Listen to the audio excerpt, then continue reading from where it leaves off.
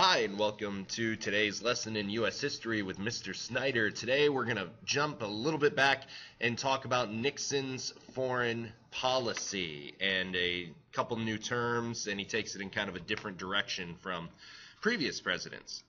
So, your two learning targets today are to explain the reasoning behind Nixon's foreign policy and then define his foreign policy toward uh, the Soviet Union and China.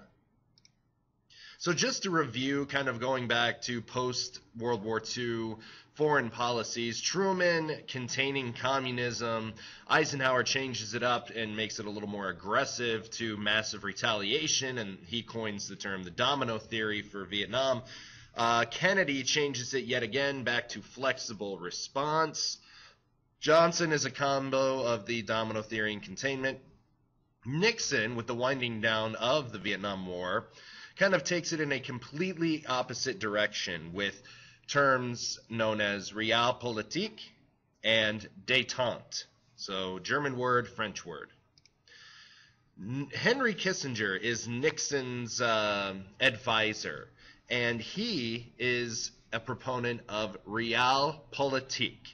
And it means like real, a realpolitik.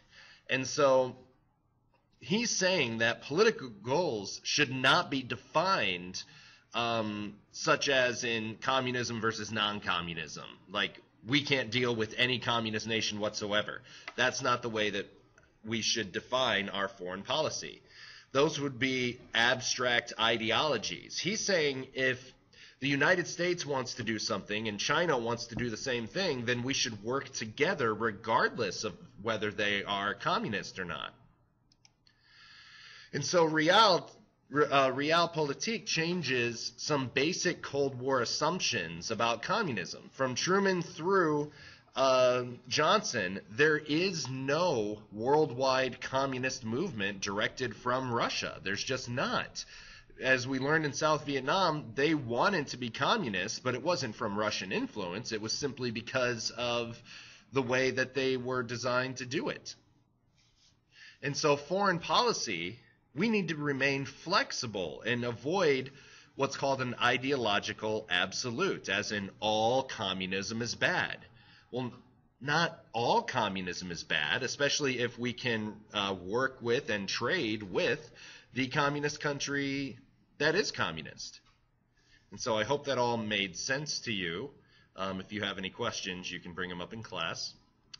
So the United States and Soviet Union tensions ease, and we enter a period that's known as détente, which is the French word for calm or relaxing, and it means the e- the period of easing tensions between the Soviet Union and uh, United States, and this basically is the 1970s.